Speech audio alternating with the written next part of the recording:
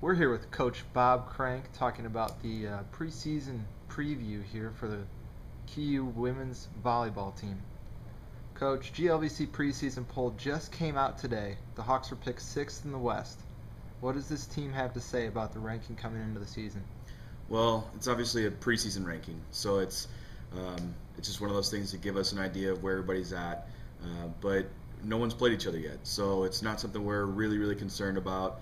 Um, no one's seen our, our new team, uh, our new players.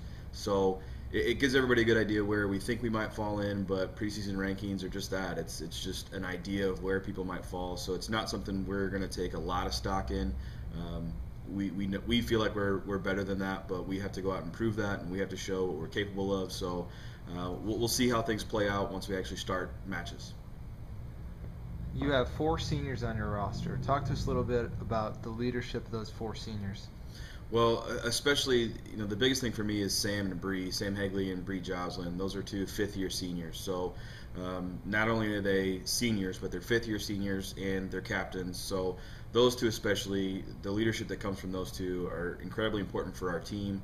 Uh, Sam's been a captain for a number of years. Carly also um, and, and Summer has, has, been here and knows what she's doing. So uh, those four really provide a great depth of intelligence and maturity for our team.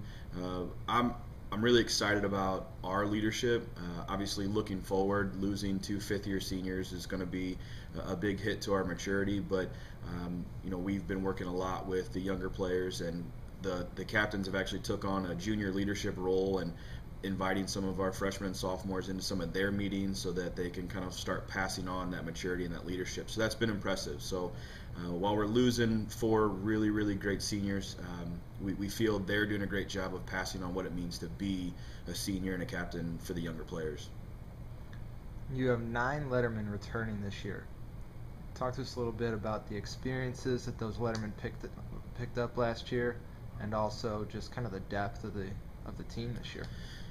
Well, the, our depth of talent is, is really impressive, and since I've gotten here, we've talked a lot about just the competitiveness within our own gym. So, um, the returners did an amazing job over last spring and this summer to make sure that they came in in really great shape. Uh, all of our returners are playing some impressive volleyball, and they're playing some of the best volleyball of their careers right now, which we really needed them to do. We needed our returners to work hard last spring, work hard over the summer, and come in prepared to to be competitive, and they've done an extremely great job. Uh, Taylor Jacobs, our assistant coach, did an amazing job over the spring with our weight training program. So we feel really good about where our returners are, uh, and they needed to be in a competitive situation, prepared for our incoming class because it's pretty talented. So we're excited about where our maturity level is just in general with our program, but our returners did a great job working out all spring and summer to be prepared for this fall. And then you have six newcomers. You touched on that a little bit. Five freshmen. Go through this recruiting class and the kind of depth that the Hawks have added after this recruiting class. Yeah, it's it's really kind of an impressive class. Um, you know, we've got five freshmen and we've got one junior college transfer that came in. Um, you know, all six of these newcomers that are here in our gym this fall, they're all really talented. They're all fighting immediately. They're all improving our team immediately. That was one of the biggest factors we were looking for from this recruiting class was this entire class had to immediately impact our roster and our competitiveness the moment they stepped in our gym, and they have definitely done that. Um, and we brought in two pretty big middles, Bobby Eastman and Jessica Lacurgo. Uh, they're both, you know, six one, six two, played for pretty good clubs. Um, you know, they're they're in the they're in the mix. Both of those freshmen are kind of fighting for time with each other, and it's great to see them compete with each other. Um, you know, the other freshmen, Miranda Rodriguez, a setter out of the Chicago area. Uh, you know, that was an issue that we had to address from last year was our setting situation, and she's come in and really done a great job of elevating our offense the moment she got here. And Rachel Shores, one of the freshman liberos, she came in and she's been really impressive and stabilized some of our serve receive and doing a great job defensively. Um, Kayla Hamilton, the junior college transfer, uh, she's a player that kind of came late to us, but she's been in the gym. She's got a great arm. She's working through some technical um, development, but she's she's competitive in our gym. And then the last freshman we want to talk about is Becca Rabel, and uh, she's been extremely impressive. Um, you know, we've got Bree Joslin, who is a two-time first-team All-Conference player, one of the best pure hitters in the conference, and Becca's come in here as a right side and as a defensive blocker has really been able to make Bree play at a level she's never had to play in our gym before. And, and Becca's got a cannon. So it's been pretty cool to see this group of newcomers really, really elevate the level of play in our gym. And then the promotional schedule you had last year was a huge hit. What are some highlights this season that you have on the schedule?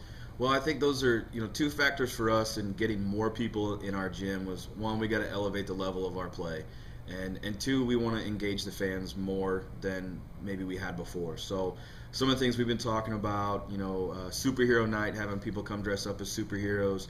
Uh, obviously, we're going to do our, our, annual breast cancer awareness night in October. Um, you know, T-shirt night's always a hit because it's something we do on our opening home opener, and we just throw out a bunch of our new shirts. Um, you know, the pizza competition is something we're excited to try this year and develop, uh, where we can have local pizza restaurants come in and, and, you know serve pizza and do a little competition for the town itself. Uh, we're just excited to create a more vibrant atmosphere in our gym for our matches and, and have people not just show up and watch great volleyball, but be engaged by the environment that they're in as well. Coach, you have one word. Describe the 2014 Hawks competitive. Um, that's been the word we've been searching and, and striving for since I came here. Um, you know, as a coach, we talk about the gap between our most competitive player and our least competitive player, and that's something we always want to go in one direction with. We always want the team to strive to be more like the most competitive player in our gym, and with players like Sam and Bree who are extremely competitive. Um, we wanted everyone else in our gym to elevate their competitiveness and our gym right now, it, it's interesting. We're you know we're in we're quite a ways into our preseason, and and the coaching staff we're still searching for the right lineup. Uh, but the great part about that is everybody in our gyms competing for time. Everybody in our gyms competitive in every drill we do. Um, so I think that's the biggest word for us right now is how competitive we are in our own gym. And when we're doing that, that's going to lead to a much better competitive environment when we get into matches against our conference. I mean, the GLVC is one of the toughest conferences in the country. So uh, we're, we're going to be playing teams that played in the national tournament last year that are in the top 25 rankings this year. Um, you know, our first our first season opener, we're in Florida at Palm Beach Atlantic, and the first day of our opening season, we're playing Eckerd and we're playing Palm Beach Atlantic, and those are two teams that played in the national tournament last year, and they're in or receiving votes for the top 25. So competitive is our word this year, and we're fighting to be as competitive as possible, and, and we really like where we're at. Thank you very much, Coach. Absolutely.